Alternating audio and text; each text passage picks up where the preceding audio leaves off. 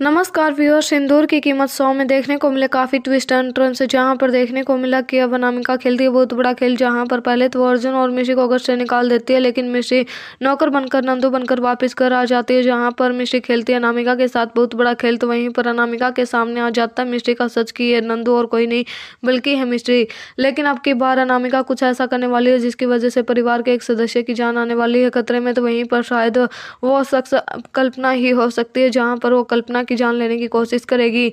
तो देखना काफ़ी दिलचस्प होने वाला है कि क्या समय रहते मिश्री अनामिका से अपने परिवार और अपनी माँ, यानी कि अपने सासू माँ कल्पना की बचा पाएगी जान, या फिर उसे पहले ही अनामिका मार डालेगी कल्पना को।